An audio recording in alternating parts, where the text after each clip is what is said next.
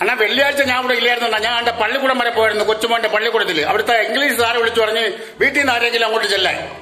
കൊച്ചുമോന്റെ കാര്യം സംസാരിക്കാൻ തന്നെ. ഇല്ല ഇല്ല എന്റെ മോ കൂടെ ഇല്ലായിരുന്നു. അവൻ അവന്റെ കൂടെ പേർച്ചയിലും കണ്ടയക്കണ ആരെ ഉടപ്പിറന്നാളെ പിടവട കാട്ടാക്കട. അവൻ അതിന് പോയിരുന്നു. ഞാൻ അങ്ങനെ പള്ളിക്കൂടം ചെന്നപ്പോ ഇംഗ്ലീഷ് സാർ ഒരു പേപ്പർ എടുത്ത് എന്റെ കയ്യിൽ തന്നു. എന്താണ്?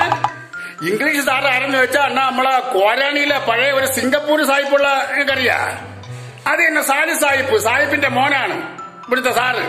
പേര് സജീർ എന്നും കണ്ടാണ് സജീർ സാർ എന്ന് തന്നെ പിള്ളേർ പറയണാക്കാം അങ്ങനെ അപ്പോഴീ പേപ്പറിൽ കാണാൻ എന്റെ കൊച്ചുമോ പടം വരച്ചു വെച്ചേക്കണ്. സൂര്യന്റെ പടം വരച്ചു വെച്ചേക്കണ്. എന്നിട്ട് അതിന്റെ നടുക്കം തിരക്കെ കുത്തലിട്ട് വെച്ചേക്കണ്. അല്ലെ സൂര്യകാന്തി പോണക്കിരിക്കണ് അപ്പൊ ഈ സജീർ സാർ പറഞ്ഞു മാമ ഞാൻ ഇവന്റെ കൂടെ സൺറൈസ് ആണ് വരയ്ക്കാൻ പറഞ്ഞത്. സൂര്യോദയം. ഇവൻ വരച്ചു വെച്ചേക്കണ കണ്ട. എന്താണ് അല്ല ഇംഗ്ലീഷ് സാർ എന്തിന് പടം വരപ്പിക്കണം എന്ന് ചോദിച്ചാൽ ഇപ്പൊ എല്ലാ സാറന്മാരും പടമൊക്കെ വരപ്പിക്കും. മലയാള സാറും വരപ്പിക്കും എല്ലാം മലയാള സാറ് കുമാരനാശാന്റെ വള്ളത്തോളിന്റെ പടമൊന്നും വരപ്പിക്കില്ല വേറെ എന്തൊക്കെ വരപ്പിക്കുമായിരിക്കും ഇല്ലെന്ന ഇപ്പൊ അങ്ങനെ ഈ ഡ്രായിങ്ങും ഡ്രില്ലും പാട്ടൊന്നും ഇല്ലല്ലേ? വെള്ളിയാഴ്ച? വെള്ളിയാഴ്ച ചോറ് ഈസി ഉണ്ടാന്നുള്ളത് ഇനി പള്ളിക്കുളത്തിൽ പോയി നോക്കിയാലേ അറിയാവൂ.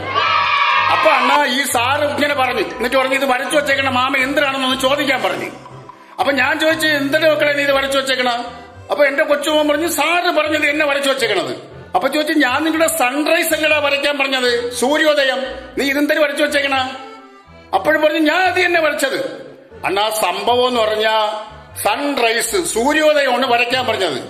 എന്റെ മോൻ സൺ സൂര്യൻ റൈസ് അരി എന്നല്ലേ വീട്ടിൽ നിന്ന് പഠിച്ചുകൊണ്ടിരുന്നത് ഇവർ സൂര്യന്റെ അരി വരച്ചു വെച്ചേക്കണം. അതാണ് ആ കുത്തു തരി.